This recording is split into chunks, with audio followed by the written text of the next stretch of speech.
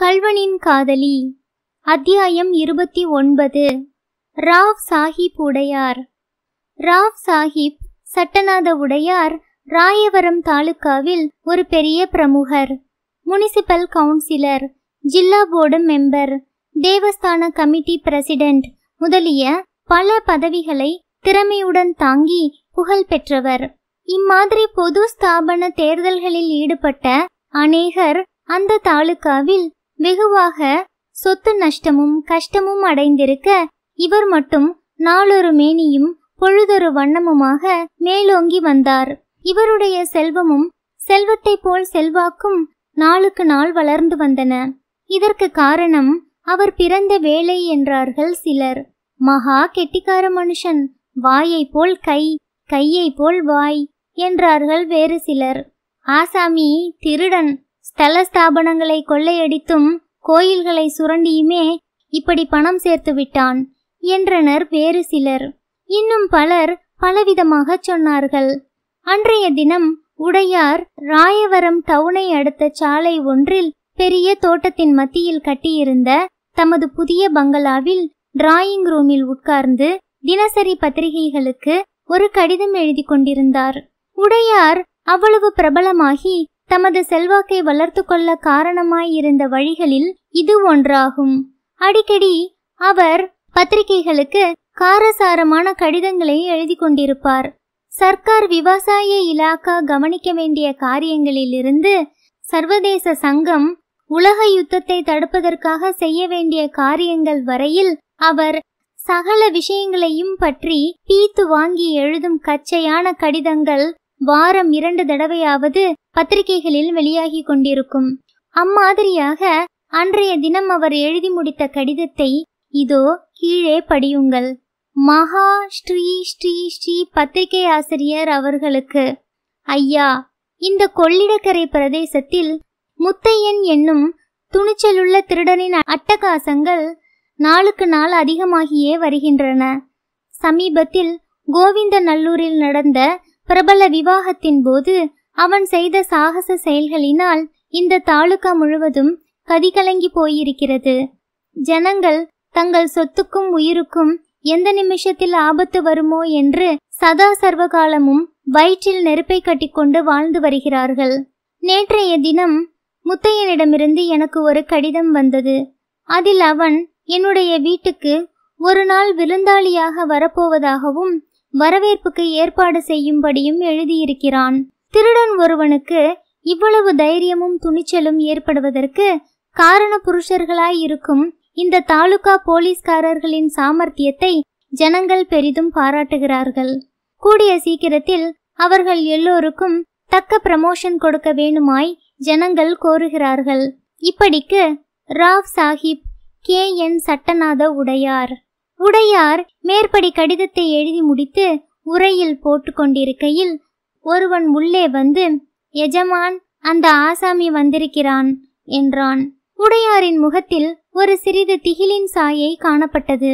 அதை அவர் உடனே மாற்றிக்கொண்டு வர சொல்லு இங்கு வேறு யாரையும் உள்ளே விடாதே தலை போகிற காரியமானாலும் சரிதான் என்றார்.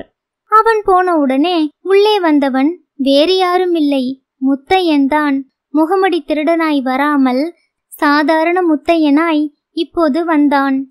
வந்தவன் குட் மார்னிங் சார் என்று சொல்லிவிட்டு நின்றான். உடையார் அவனை சற்று நேரம் அதிசயத்துடன் உற்று பார்த்து கொண்டிருந்தார். அடே அப்பா இவ்வளோண்டு இருந்து கொண்டு என்னவெல்லாம் அமர்க்களம் செய்து வருகிறாயடா? என்றார். உடையார்வாள் கொஞ்சம் மரியாதையாகவே பேசிவிட்டால் நல்லதில்லையா? என்றான் முத்தையன். அப்படியே ஆகட்டும் சார் உட்காருங்கள் சார். உங்களுக்கு இங்கு விஜயம் செய்ய சொன்னது எதற்காக என்று ஏதாவது தெரியுமா சார்? என்று ராவ் சாஹிப் கேட்டார். உங்கள் ஆள் எனக்கு அதெல்லாம் சொல்லவில்லை. நீங்கள் என்னுடைய முகத்தை பார்ப்பதற்கு ரொம்ப ஆவலாய் இருப்பதாய் மட்டும்தான் சொன்னான். ஆனால் காரியமில்லாமல் தாங்கள் அப்படியெல்லாம் ஆசைப்பட மாட்டீர்கள் என்று எனக்கு தெரியும் என்றான் முத்தையன். உடையார் சற்று யோசனை செய்தார். அவனிடம் எப்படி விஷயத்தை பிரஸ்தாபிப்பது என்று அவர் தயங்குவது போல் காணப்பட்டது. அப்போது முத்தையன் அவரை தைரியப்படுத்துகிற பாவனையாக என்ன யோசிக்கிறீர்கள்? தாராளமாய் சொல்லுங்கள். திருடர்களுக்குள் சங்கோசம் என்ன? என்றான். உடையார் திடுக்கிட்டு என்ன? அப்படி சொல்கிறாய்? என்றார். ஆமாம். அதை பற்றி என்ன? நான் வெறும் திருடன். தாங்கள் மிஸ்டர் திருடர். அவ்வளவுதான் வித்தியாசம். பரவாயில்லை சொல்லுங்கள். எல்லோரும் உன்னை பற்றி சொல்வது சரியாய்த்தான் இருக்கிறது. வெகு வேடிக்கை மனுஷனாயிருக்கிறாய்? இருக்கட்டும் உன்னை கூப்பிட்ட காரியத்தை சொல்கிறேன். என் சிநேகிதர் ஒருவருக்கு புதுச்சேரியிலிருந்து ரகசியமாய் கொஞ்சம் சரக்கு கொண்டு வர வேண்டுமாம். அதற்கு உன் ஒத்தாசை வேண்டுமென்கிறார். இதிலே எனக்கு ஒரு சம்பந்தமும் கிடையாது. உனக்கு சம்மதமானால் சொல்லு. அபாயம் அதிகம்தான். வருபடியும் அதற்கு தகுந்தபடி ஜாஸ்தி. என்ன சொல்கிறாய்? இதை கேட்ட முத்தையன் வாயை கையினால் மூடிக்கொண்டு விழுந்து விழுந்து சிரித்தான். இடையிடையே உடையாரையும் பார்த்தான். உடையார் தம்முடைய ஆடை அலங்காரங்களில் அதிக கவலை உள்ளவர். அவற்றில் ஏதாவது கோளாறா என்ன? என்று அவர் சுவரிலிருந்த நிலை கண்ணாடியில் தம்மை பார்த்து கொண்டார் முத்தையன் அலங்காரமெல்லாம் சரியாய்த்தான் சார் இருக்கிறது. ஒன்றும் பிசகில்லை. நான் சிரிக்கிறது வேறு விஷயம். ஐந்தாறு வருஷத்துக்கு முன்னால் இதே மாதிரி திருட்டு வேலைக்காக என்னை நீங்கள் கார் ஓட்டச் சொன்னீர்கள். நான் மாட்டேன் என்றேன். அதற்காக என்னை டிஸ்மிஸ் பண்ணிவிட்டீர்கள். அப்போதும் இதே மாதிரிதான் ஒரு சிநேகிதருக்காக இதில் எனக்கு ஒரு சம்பந்தமும் இல்லை என்று சொன்னீர்கள். இதெல்லாம் ஞாபகம் இருக்கிறதா? என்று கேட்டான். உடையார் குதித்து எழுந்தார். அடே பாவி பயலே நீதானா? என்றார். பிறகு அவர் நின்றபடியே கூறினார் உன்னை கோவிந்தநல்லூர் கல்யாணத்தில் ஒரு நிமிஷம் பார்த்தபோதே நீயாய்த்தான் இருக்க வேண்டும் என்று சந்தேகப்பட்டேன். அதனால்தான் உன்னை எப்படியாவது கூட்டிக் கொண்டு வரச் சொல்லியிருந்தேன். ஜில்லென்று மீசை வைத்துக் கொண்டு விட்டாய் அல்லவா? அதனால் நிச்சயமாக அடையாளம் தெரியவில்லை. போகட்டும். அப்போது வெகு யோக்கியன் மாதிரி திருட்டு புரட்டிலே இறங்க மாட்டேன் என்று சொன்னாயே.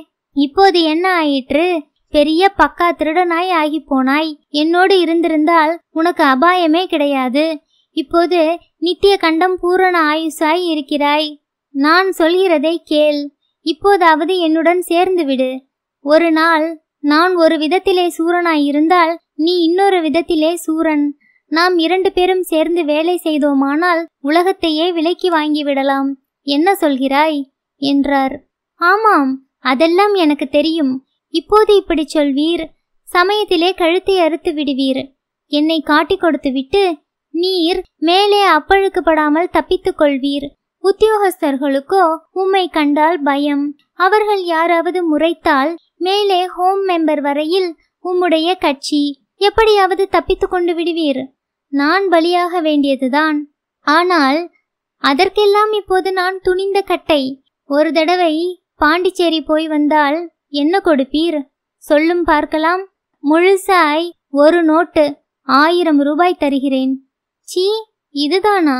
நான் இப்போது வந்ததற்கு பதிலாக உம்முடைய வீட்டிற்கே ராத்திரி வந்தேனானால் அடித்த அடியில் ஐயாயிரம் ரூபாய் கொண்டு போய் விடுவேன் இதை கேட்டதும் சட்டநாத உடையார் திடுக்கிட்டார்.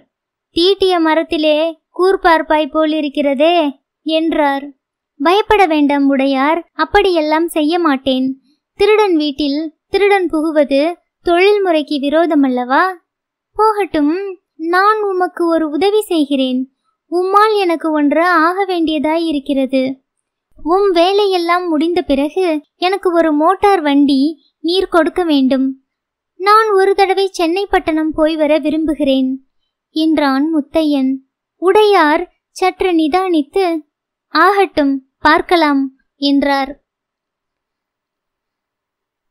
கல்வனின் காதலி அத்தியாயம் முப்பது. வசந்த காலம். மறுநாள் உச்சி பொழுதில் ஜலம் வறண்ட ராஜன் வாய்க்காலின் மணலில் இருபுறமும் அடர்த்தியாய் வளர்ந்திருந்த புன்னை மரங்களின் நிழலில் முத்தையன் மேல் துணியை விரித்து கொண்டு படுத்திருந்தான். அப்போது இளவேநீர் காலம். சித்திரை பிறந்து சில நாட்கள் தான் ஆகியிருந்தன. மரம் செடி கொடிகள் எல்லாம் தள தளவென்று பசும் இலைகள் தழைத்து கண்ணுக்கு குளிர்ச்சி அளித்தன. அவற்றின் மேல் இளம் தென்றல் காற்று தவழ்ந்து விளையாடி கொண்டிருந்தது. சற்று தூரத்தில் ஒரு வேப்ப மரம் பூவும் பிஞ்சுமாய் குலுங்கிக் கொண்டிருந்தது. அதிலிருந்து வந்த மனோகரமான வாசனையை முத்தையன் நுகர்ந்து கொண்டிருந்தான். அந்த மரத்தின் அடர்த்தியான கிளைகளில் எங்கேயோ ஒளிந்து கொண்டு ஒரு குயில் குக்கு குக்கு என்று கூவிக்கொண்டிருந்தது. சென்ற சித்திரைக்கு இந்த சித்திரை ஏறக்குறைய ஒரு வருஷ காலம் முத்தையன் இந்த பிரதேசத்தில் திருடனாக பதுங்கி வாழ்ந்து காலம் கழித்தாகிவிட்டது. அந்த நாட்களில் இரண்டு பெரிய தாலுகாக்களில் உள்ள ஜனங்கள் எல்லாம் தன்னுடைய பெயரை கேட்ட மாத்திரத்தில் கதிகலங்கும்படியும் அவன் செய்திருந்தான். அத்தகைய பிரதேசத்தை விட்டு இப்போது ஒரேடியாக போய்விடப் போகிறோம் என்பதை எண்ணிய போது அவனுக்கு ஏக்கமாய்தான் இருந்தது. மேற்படி தீர்மானத்துக்கு அவன் வந்து சில தினங்கள் ஆகிவிட்டன. திருடப்போன வீட்டில் எதிர்பாராதபடி கல்யாணியை சந்தித்து அதனால் சொல்ல முடியாத அவமானமும் வெறுச்சியும் அடைந்து ஒரு வார்த்தை கூட பேசாமல் திரும்பி ஓடினான் என்று சொன்னோம் அல்லவா? போலீஸ் லாக்கப்பிலிருந்து தப்பிய அன்று எப்படி வழி திசை தெரியாமல் ஓடினானோ அதே மாதிரிதான் இன்றும் ஓடினான். கடைசியாக எப்படியோ தன்னை சென்ற ஒரு வருஷமாக ஆதரித்து காப்பாற்றி வரும் கொள்ளிடக்கரை பிரதேசத்தை அடைந்தான். இரவுக்கிரவே ஆற்றை தாண்டி அக்கறை படுகைக்கும் வந்துவிட்டான். அந்த இரவிலேயே அவன் தன் வருங்காலத்தை பற்றி சிந்திக்கவும் தொடங்கினான். இனி வெகு காலம் இப்படியே காலம் தள்ள முடியாது என்று அவனுக்கு நிச்சயமாகிவிட்டது. போலீஸ் பந்தோபஸ்துகள் நாளுக்கு நாள் அதிகமாகிக் கொண்டு வந்தன. எப்படியும் ஒரு நாள் பிடித்து விடுவார்கள். அப்படி பிடிக்காவிட்டாலும் இவ்வாறு நிர்பயமாய் வெகு காலம் நடமாட முடியாது என்று அவனுக்கு தோன்றிவிட்டது. கல்யாணியை பார்க்கும் ஆசைதான் அவனை இத்தனை காலமும் அந்த பிரதேசத்தில் இருத்தி கொண்டிருந்தது. அந்த ஆசை இவ்வளவு விபரீத முறையில் நிறைவேறவே முத்தையன் மனங்கசந்து போனான். தான் இதுவரை சேர்த்து வைத்திருந்த பணத்தை எடுத்துக்கொண்டு எங்கேயாவது அக்கறை சீமைக்கு கப்பல் ஏறி போய்விடுகிறதென்று அவன் தீர்மானித்தான். அதற்கு முன்னால் சென்னைக்கு போய் அபிராமியை எப்படியாவது ஒரு தடவை பார்த்துவிட வேண்டுமென்ற ஆசையும் அவனுக்கு இருந்தது. ஆனால் இதெல்லாம் எப்படி சாத்தியமாகும்? இதை பற்றி யோசனை செய்து கொண்டிருந்த போதுதான் ராயவரம் உடையார் தன்னை பார்க்க விரும்புவதாக தகவல் தெரிவித்திருந்தது. அவனுக்கு ஞாபகம் வந்தது. அவர் வரச் சொன்னது எதற்காக இருக்கும் என்பதை அவன் ஒருவாறு ஊகித்திருந்தான். அவருடைய யோகிதையை முன்பே அறிவானாதலால் அவரால் அபாயம் ஏற்படும் என்று அவன் சிறிதும் பயப்படவில்லை. ஆனால் அந்த திருடனுக்கு போய் உதவி செய்வதில் அவனுக்கு இஷ்டமில்லாமல் இருந்தது. அதனால் தனக்கு முடிவில் நன்மை ஏற்படாதென்று அவனுடைய உள்ளத்தில் ஏதோ ஒன்று சொல்லிற்று. ஆனால் இப்போது கப்பல் ஏறி போய்விட வேண்டுமென்ற ஆசை பிறந்ததும் உடையாருடைய ஒத்தாசையினால்தான் அது சாத்தியமாக கூடும் என்று அவன் தீர்மானித்தான்.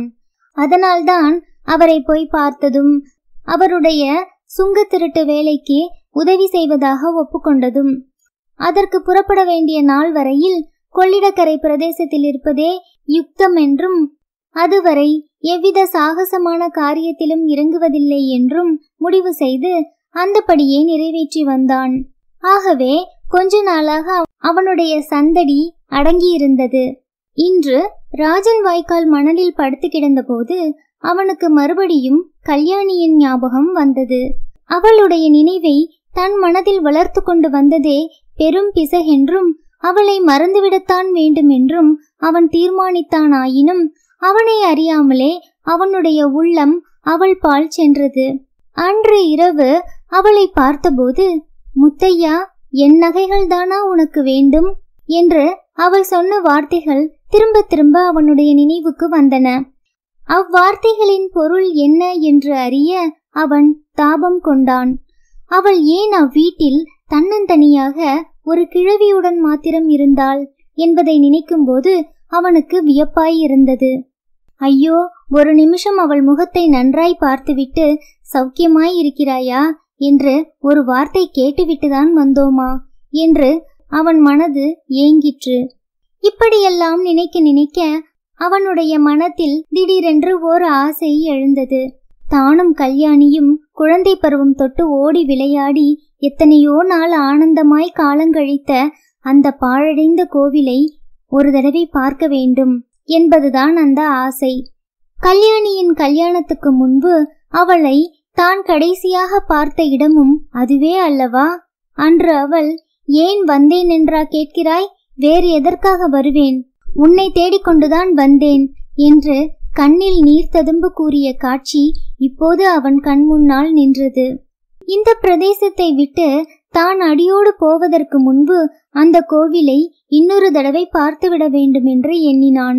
இந்த எண்ணம் தோன்றி சிறிது நேரத்திற்கெல்லாம் தன்னை மீறிய ஏதோ ஒரு சக்தியினால் கவரப்பட்டவன் போல் அந்த பூங்குளத்தை நோக்கி விரைந்து நடக்கலானான். அந்த சக்தி இத்தகையது என்பது அன்று சாயங்காலம் மேற்படி பாழடைந்த கோவிலை நெருங்கிய போது அவனுக்கே தெரிந்து போயிற்று.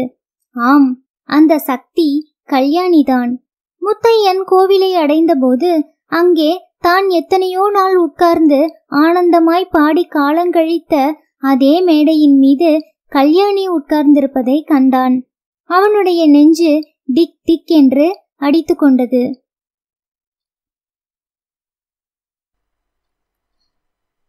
கல்வனின் காதலி அத்தியாயம் முப்பத்தி ஒன்று. காதலர் ஒப்பந்தம். கோவிலுக்கு பக்கத்தில் இருந்த மாமரத்தில் பட்டுப்போல் சிவந்த இளம் இலைகளுக்கு மத்தியில் கொத்து கொத்தாக மாம்பூக்கள் பூத்திருந்தன. அந்த பூக்கள் இருக்குமிடம் தெரியாதபடி வண்டுகளும் தேனீக்களும் மொய்த்தன. அவற்றின் ரீங்கார சப்தம் அந்த வனப்பிரதேசம் முழுவதிலும் பரவி பிரகிருதி தேவியை ஆனந்த பரவசமாக்கி கொண்டிருந்தது. சற்று தூரத்தில் ஒரு முட்புதரின் மேல் காட்டு மல்லிகை கொடி ஒன்று படர்ந்திருந்தது. அந்த கொடியில் குலுங்கிய பூக்களிலிருந்து லேசாக வந்து கொண்டிருந்த நறுமணத்தினால் கவரப்பட்டுதான் போலும் அதன் மேல் இத்தனை பட்டுப்பூச்சிகள் பறந்து கொண்டிருந்தன. அவற்றின் இறகுகளுக்குத்தான் எத்தனை விதவிதமான நிறங்கள்? அவற்றில் எவ்வளவு விதவிதமான வர்ண பொட்டுக்கள்? நல்ல தூய வெள்ளை இறகுகளும் வெள்ளையில் கருப்பு பொட்டுகளும் ஊதா நிற இறகுகளில் மஞ்சள் புள்ளிகளும் மஞ்சள் நிற இறகுகளில் சிவப்பு கோலங்களும் இப்படியாக ஒரே வர்ண காட்சிதான் பிரம்மதேவன் இந்த பட்டுப்பூச்சிகளை சிருஷ்டித்த காலத்தில் விதவிதமான வர்ணங்களை கலந்து வைத்துக்கொண்டு அவற்றை விசித்திரம் விசித்திரமாய் தீட்டி வேடிக்கை செய்திருக்க வேண்டும். பட்டுப்பூச்சிகள் ஒரு நிமிஷம் அந்த காட்டு மல்லிகை கொடியின் மீது உட்கார்ந்திருக்கும். அடுத்த நிமிஷம் ஒரு காரணமும் இன்றி அவை கொள்ளென்று கிளம்பி வானவெளியிலெல்லாம் பறக்கும். அவை பறக்கும்போது அவற்றின் இறகுகள் படபடவென்று அடித்துக் கொள்வதை பார்த்தால் ஐயோ இந்த அழகான பூச்சி இப்படி துடிக்கின்றதே. அடுத்த கணத்தில் கீழே விழுந்து உயிரை விட்டுவிடும் போலிருக்கிறதே என்று நாம் தவித்து போவோம். பட்டுப்பூச்சியின் இறகுகள் எப்படி துடித்தனவோ அதை போலவே துடித்தது அந்த நேரத்தில் கல்யாணியின் இருதயம் என்று சொல்லலாம். பாழடைந்த கோவிலைச் சுற்றி அடர்த்தியாய் இருந்த செடி கொடிகளை விலக்கிக் கொண்டு முத்தையன் வருவதை அவள் பார்த்தாள். பார்த்த கணத்தில் அவளுடைய உள்ளம் ஆனந்த பரவசம் அடைந்தது. ஆனால் அடுத்த கணம் முன்போல் அவன் மறுபடியும் தன்னை பார்த்துவிட்டு ஓடிப்போகாமல் இருக்க வேண்டுமே என்று எண்ணியபோது அவளுடைய இருதயம் மேற்சொன்னவாறு துடித்தது. அன்றிரவு முகமுடி தரித்த கல்வனாய் வந்த முத்தையன் அப்படி ஒரே நிமிஷத்தில் மாயமாய் மறைந்து போன பிறகு கல்யாணி அடைந்த ஏமாற்றத்துக்கும் ஏக்கத்துக்கும் அளவே கிடையாது. அவ்வாறு நேர்ந்து விட்டதற்கு காரணம் தன்னுடைய புத்தியீனம்தான் என்று அவள் கருதினாள். இத்தனை நாளும் அவனை பார்க்கலாம் பார்க்கலாம் என்ற நம்பிக்கையில் ஒருவாறு காலம் போய்விட்டது. இனிமேல் அந்த நம்பிக்கைக்கு கூட இடமில்லையே. முத்தையன் இப்படியே திருடனாயிருந்து ஒரு நாள் போலீசாரிடம் அகப்பட்டு கொண்டு தண்டனை அடைய வேண்டியது. தான் இப்படியே தன்னந்தனியாக உலகத்தில் வாழ்ந்து காலந்தள்ள வேண்டியது என்பதை நினைக்க நினைக்க அவளால் சகிக்க முடியவில்லை. இதற்கு முன்னெல்லாம் அவள் சாதாரணமாய் கண்ணீர் விட்டு அழுவது கிடையாது. பஞ்சநதம் பிள்ளையை கல்யாணம் செய்து கொண்டபோது அவள் தன்னுடைய நெஞ்சை இரும்பாக செய்து கொண்டாள் என்று பார்த்தோம் அல்லவா? ஆனால் அன்றிரவு சம்பவத்துக்கு பிறகு அவளுக்கு தன்னை அறியாமல் அழுகை அழுகையாய் வந்தது. கல்யாணியின் அத்தை இதையெல்லாம் பார்த்துவிட்டு பயந்து போனாள். அன்று ராத்திரியே அவள் கூச்சல் போட்டு தடபுடல் பண்ணி திருடனை பிடிக்க ஏற்பாடு செய்ய வேண்டுமென்று சொன்னாள். கல்யாணி அதெல்லாம் கூடவே கூடாது என்று பிடிவாதமாய் சொல்லிவிட்டாள். அதற்கு பிறகு கல்யாணி தானே அழுது கொண்டும் கண்ணீர் விட்டு கொண்டும் இரவெல்லாம் தூங்காமல் புரண்டு கொண்டும் இருப்பதை பார்த்து அத்தை அடி பெண்ணே உனக்கு என்னமோ தெரியவில்லை. அன்று ராத்திரி திருடன் வந்ததிலிருந்து பயந்து போயிருக்கிறாய். மாரியம்மனுக்கு மாவிளக்கு ஏற்ற வேண்டும். கொஞ்ச நாளைக்கு பூங்குளத்துக்கு போய் எல்லாருடனும் கலகலப்பாய் இருந்துவிட்டு வருவோம். வா. அப்போதுதான் உனக்கு பயம் தெளிந்து சித்தம் சரியாகும் என்றாள். பூங்குளத்துக்கு போகலாம் என்றதும் அத்தை ஆச்சரியப்படும்படியாக கல்யாணி உடனே சம்மதித்தாள். அவளுக்கு என்னவெல்லாமோ பழைய ஞாபகங்கள் வந்தன. கொள்ளிடக்கரை காடும் பாழடைந்த கோவிலும் அவளை கவர்ந்து இழுத்தன. ஆகவே தகப்பனாருக்கு கடிதம் போட்டு வரவழைத்து எல்லோருமாக பூங்குளம் போய் சேர்ந்தார்கள். கல்யாணி இரண்டொரு நாள் வீட்டுக்குள்ளேயே இருந்தாள். பிறகு இடுப்பிலே குடத்தை எடுத்து வைத்துக்கொண்டு ஆற்றுக்கு குளிக்கப் போகிறேன் என்று கிளம்பினாள். அவள் சிறு பெண்ணாய் இருந்த காலத்திலேயே அவளை யாரும் எதுவும் சொல்ல முடியாதென்றால் இப்போது பெரிய பணக்காரியாய் சர்வ சுதந்திர எஜமானியாய் ஆகிவிட்டவளை யார் என்ன சொல்ல முடியும்? முத்தையனை இப்போது பார்த்ததும் கல்யாணி எழுந்து நின்றாள். இருவரும் ஒருவரை ஒருவர் பார்த்த வண்ணம் சற்று நேரம் பதுமைகளைப் போல் நின்றார்கள். கல்யாணிக்கு எதிர்பாராமல் அவன் அவனை சந்தித்ததனால் ஏற்பட்ட திகைப்பு ஒரு புறம் ஏதாவது தான் தவறாக சொல்லி அல்லது செய்து அதனால் மறுபடியும் முத்தையன் போய்விடப் போகிறானே என்ற பயம் இன்னொரு புறம். ஆனால் முத்தையன் இந்த தடவை அப்படி ஒன்றும் ஓடிப்போகிறவனாய் இல்லை. திகைப்பு சற்று நீங்கியதும் கல்யாணியின் சமீபமாக வந்தான். கல்யாணி நீதானா? அல்லது வெறும் மாயை தோற்றமா? என்னால் நம்ப முடியவில்லையே என்றான். அம்மாதிரி சந்தேகம் உன்னை பற்றி எனக்கு உண்டாவதுதான் நியாயம். இந்த நிமிஷம் நீ என் முன் இருப்பாய். அடுத்த நிமிஷம் மாயமாய் மறைந்து போவாய். என்று கல்யாணி சொல்லி சட்டென்று அவன் ஓடிப்போகாமல் தடுப்பவள் போல் கைகளை விரித்து கொண்டு நின்றாள். முத்தையன் கலகலவென்று சிரித்தான். கல்யாணிக்கும் தன்னை அறியாமல் சிரிப்பு வந்தது. இருவரும் சிரித்தார்கள். எத்தனையோ காலமாக சிரிக்காதவர்களாதலால் இப்போது அதற்கெல்லாம் சேர்த்து வைத்து குலுங்க குலுங்க சிரித்தார்கள். அந்த சிரிப்பின் ஒளியை கேட்டு நாவல் மரத்தின் மேல் கூட்டுக்குள் இருந்த குருவி குஞ்சுகள் வெளியே தலையை நீட்டி பயம் நிறைந்த சின்னஞ்சிறு கண்களால் அவர்களை பார்த்து விழித்தன. முத்தையன் சிரிப்பை சிரமப்பட்டு அடக்கிக் கொண்டு கல்யாணி என்னால் நம்ப முடியவில்லைதான். எதற்காக நீ இங்கு வந்தாய்? பழைய முத்தையனை தேடிக்கொண்டா? அந்த முத்தையன் இப்போது இல்லையே. கொள்ளைக்கார முத்தையன் அல்லவா இப்போது இருக்கிறான்? அவனுக்கும் உனக்கும் நடுவில் இப்போது இந்த கொள்ளிடத்தை விட அகண்டமான பள்ளம் ஏற்பட்டிருக்கிறதே என்றான். முத்தையா நானும் இப்போது பழைய கல்யாணி அல்ல. காட்டில் குதூகலமாக திரிந்து கொண்டிருந்த வனதேவதை கல்யாணி செத்துப்போய் விட்டாள் இப்போது இருப்பவள் கைம்பெண் கல்யாணி. ஐயோ நிஜமாகவா? அந்த பாவி இதற்காகத்தானா உன்னை கல்யாணம் செய்து கொண்டான்? என்று திடுக்கிட்டு கேட்டான் முத்தையன். அவரை ஒன்றும் சொல்லாதே முத்தையா. அவர் புண்ணிய புருஷர். அவரை போன்றவர்கள் சிலர் இந்த உலகத்திலே இருப்பதால்தான் இன்னும் மழை பெய்கிறது. புருஷனிடம் அவ்வளவு பக்தி உள்ளவள் இங்கே ஏன் வந்தாய்? இந்த திருடனை தேடிக்கொண்டு என்று முத்தையன் ஆங்காரமாய் கேட்டான். கல்யாணியின் கண்களில் கலகலவென்று ஜலம் வந்தது. முத்தையன் மனம் உருகிற்று. கல்யாணி நான் சுத்த முரடன். முரட்டு முத்தையா என்ற பெயர் எனக்கு தகும். உன்னை காணாத போது ஒவ்வொரு நிமிஷமும் உன்னை பற்றியே நினைத்து கொண்டிருந்தேன். இந்த ஜென்மத்தில் காண்போமா என்று துடிதுடித்துக் கொண்டிருந்தேன். ஆனால் உன்னை பார்த்த பிறகு முரட்டுத்தனமாய் பேசி உன் கண்களில் ஜலம் வர செய்கிறேன். என்னால் இந்த உலகத்தில் எல்லோருக்கும் கஷ்டம்தான். எதற்காக இந்த உலகில் பிறந்தோம் என்று சில சமயம் தோன்றுகிறது. எதற்காக பிறந்தாய்?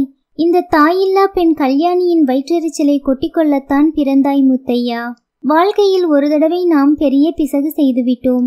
கடவுள் நம் இருவருடைய இருதயத்தையும் ஒன்றாக சேர்த்து வைத்தார். அதற்கு விரோதமாக இருவரும் ஆத்திரத்தாலும் பிடிவாதத்தாலும் காரியம் செய்தோம். மறுபடியும் அம்மாதிரி தப்பு செய்ய வேண்டாம். நான் சொல்வதை கேள். இப்படி வெகு காலம் உன்னால் காலங்கழிக்க முடியாது. கட்டாயம் போலீசார் ஒரு நாள் பிடித்து விடுவார்கள். கொஞ்ச நாள் அடக்கமாய் இருந்துவிட்டு கலவரம் அடங்கியதும் கப்பலில் ஏறி அக்கறை சீமைக்கு போய்விடு. சிங்கப்பூர் பினாங்கு எங்கேயாவது கண்காணாத தேசத்துக்கு போய் சௌக்கியமாய் இருக்கலாம். முத்தையன் மறுபடியும் திடுக்கிட்டான். தன் மனதில் இருந்ததையே அவளும் சொன்னதை கேட்டு அவன் வியப்படைந்தான். ஆனால் அதை வெளியில் காட்டிக்கொள்ளாமல் கல்யாணி என்னை ஊரை விட்டு ஓட்டுவதில்தான் உனக்கு எவ்வளவு அக்கறை? என்றான். இன்னும் என்னை நீ தெரிந்து கொள்ளவில்லையா முத்தையா? உன்னை மட்டுமா போகச் சொல்கிறேன் என்று நினைக்கிறாய்? நீ முதல் கப்பலில் போனால் நான் அடுத்த கப்பலில் வருவேன். நிஜமாகவா கல்யாணி? இன்னொரு தடவை சொல்லு. இவ்வளவு சொத்து சுதந்திரம் வீடு வாசல் ஆள்படை எல்லாவற்றையும் விட்டுவிட்டு இந்த திருடனுடன் கடல் கடந்து வருகிறேன் என்றா சொல்கிறாய்? ஆமாம் இவை எல்லாவற்றையும் விட நீதான் எனக்கு மேல். இந்த சொத்துக்களை எல்லாம் பண்ணையாரின் விருப்பப்படி நல்ல தர்மங்களுக்கு எழுதி வைத்து விடுவேன். போகிற இடத்தில் நாம் உழைத்து பாடுபட்டு ஜீவனம் செய்வோம். மறுபடியும் நீதானே எனக்காக தியாகம் செய்கிறாய் கல்யாணி. நான் என்னவெல்லாமோ எண்ணியிருந்தேன். கொள்ளையடித்த பணத்தை எல்லாம் ஒரு நாள் உன் காலடியில் போட வேண்டுமென்று நினைத்தேன். ஆனால் நீயோ குபேர சம்பத்தை காலால் உதைத்து தள்ளிவிட்டு வருகிறேன் என்கிறாய். ஆனால் முன் தடவை மாதிரி இந்த தடவை நான் பிடிவாதம் பிடிக்க மாட்டேன். கப்பல் ஏறி போய்விட நான் தயார். ஆனால் அதற்கு முன்னால் நான் ஒப்புக்கொண்ட காரியம் ஒன்றை மட்டும் செய்துவிட வேண்டும். சென்னை பட்டணத்துக்கு போய் அபிராமியை ஒரு தடவை பார்த்துவிட வேண்டும். அதற்கு ஏற்பாடெல்லாம் செய்துவிட்டேன். கல்யாணி ஒரு மாதம் இரண்டு மாதம் பொறுத்துக்கொள். ஐயோ அவ்வளவு நாளா? அதற்குள்ளே அபாயம் நேர்ந்துவிட்டால் என்ன செய்வது? இல்லை கல்யாணி ரொம்ப ஜாக்கிரதையாய் இருப்பேன். நேற்று வரை இந்த உயிர் எனக்கு லட்சியமில்லாமல் இருந்தது. சாவை எதிர்நோக்கி கொண்டிருந்தேன்.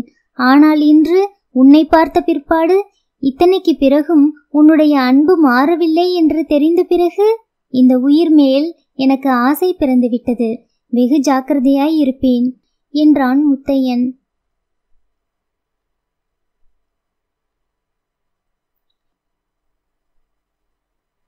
கல்வனின் காதலி. அத்தியாயம் முப்பத்தி இரண்டு கவிழ்ந்த மோட்டார். அஸ்தமித்து ஒரு நாழிகை இருக்கும் மேற்கு திசையில் நிர்மலமான வானத்தில் பிறைச்சந்திரன் அமைதியான கடலில் அழகிய படகு மிதப்பது போல் மிதந்து கொண்டிருந்தது. வெள்ளி தகட்டினால் செய்து நட்சத்திரங்களுக்கு மத்தியில் பதித்த ஓர் ஆபரணம் போல் விளங்கிய அப்பிறை மதி அழகுக்காக ஏற்பட்டது என்றே தோன்றும்படி அதன் வெளிச்சம் அவ்வளவு சொற்பமாய் இருந்தது. ஆனால் அது கூட அதிகமென்று நினைத்து எப்போது அந்த இளம் பிறை அடிவானத்தில் மறையுமென்று கவலையுடன் எதிர்பார்த்த சில பிரகிருதிகள் இருக்கத்தான் செய்தார்கள்.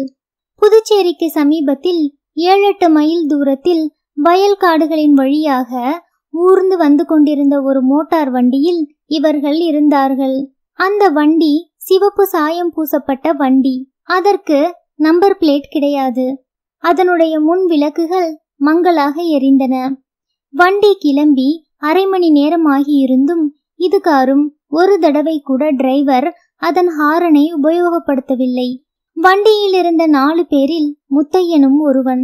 அவன் கையில் ஒரு குழல் துப்பாக்கி இருந்தது. அவன் அதை தயாராய் கையில் பிடித்துக்கொண்டு வண்டிக்கு பின்புறமே பார்த்து கொண்டு வந்தான். பின்னால் போலீஸ் வண்டி தொடர்ந்து வந்தால் அதை நோக்கி சுட வேண்டும் என்பது அவனுக்கு உத்தரவு.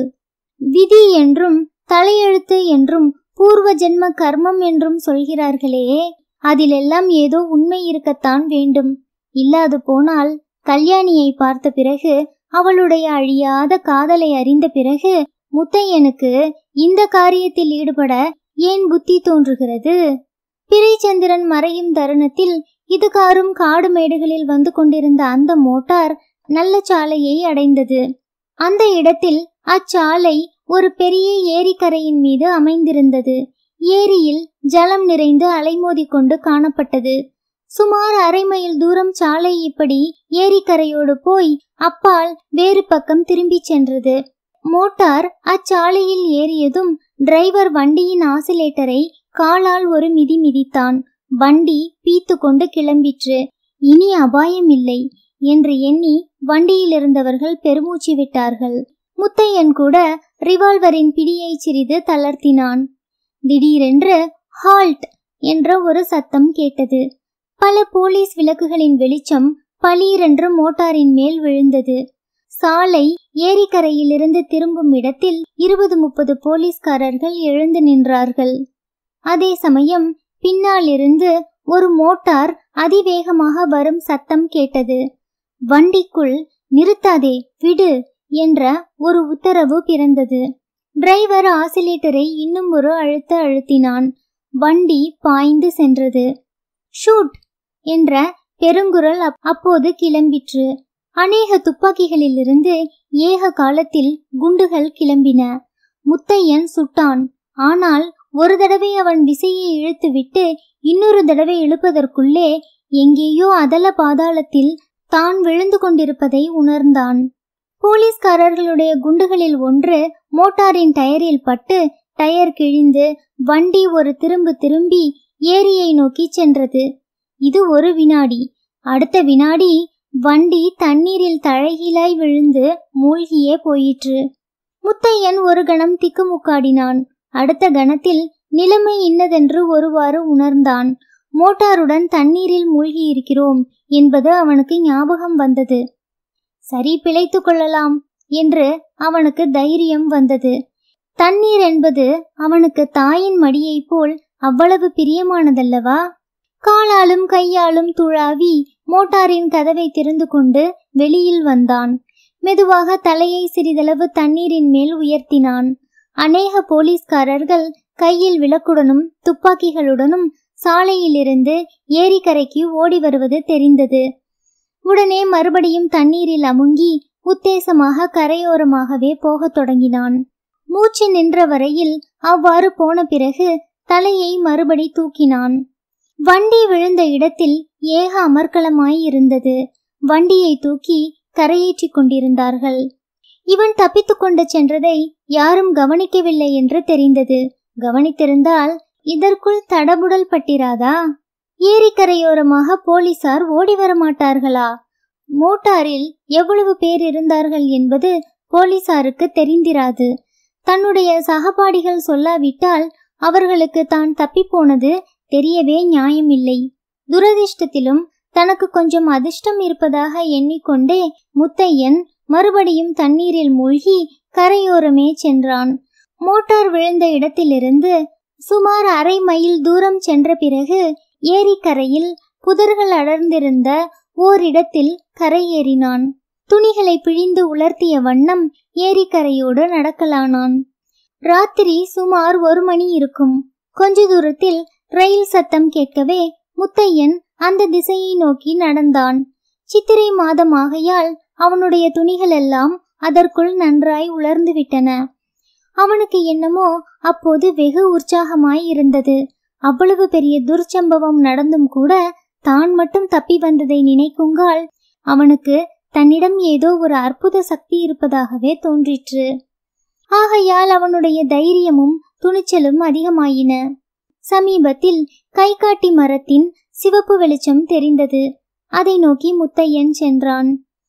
அவன் ஸ்டேஷனை அடைந்ததும் சென்னைக்கு போகும் ரயில் வந்து நின்றதும் சரியாயிருந்தது. நல்ல வேளையாய் அவன் இடுப்பில் கட்டியிருந்த பணப்பை பத்திரமாய் இருந்தது சென்னைக்கு ஒரு டிக்கெட் எடுத்துக்கொண்டு ரயில் ஏறினான். அவன் ஏறிய வண்டியில் ஒரே கூட்டம். அத்துடன் பாட்டும் கூத்தும் பிரமாதப்பட்டன. அவ்வண்டியில் இருந்தவர்களுடைய நடை உடை பாவனைகள் எல்லாமே சிறிது விசித்திரமாய் இருந்தன முத்தையன் தன் பக்கத்தில் இருந்தவனுடன் பேச்சு கொடுத்தான். அவர்கள் ஒரு பிரபல நாடக கம்பெனியைச் சேர்ந்தவர்கள் என்றும் சென்னையில் நாடகம் நடத்துவதற்காக போகிறார்கள் என்றும் தெரிந்து கொண்டான்.